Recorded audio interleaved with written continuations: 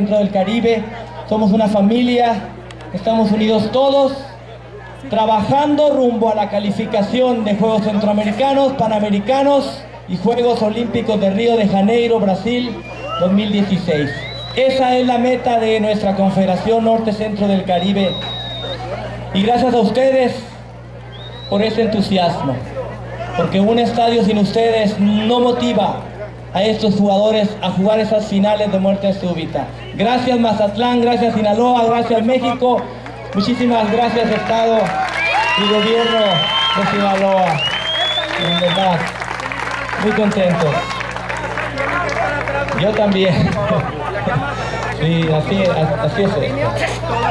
Las emociones. Gracias a la prensa. Muy bien. Gracias, Juan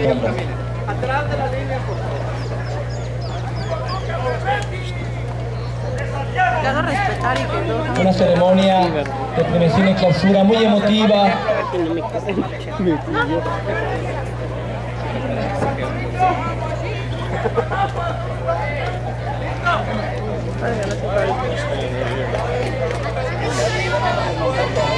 Bienvenidos.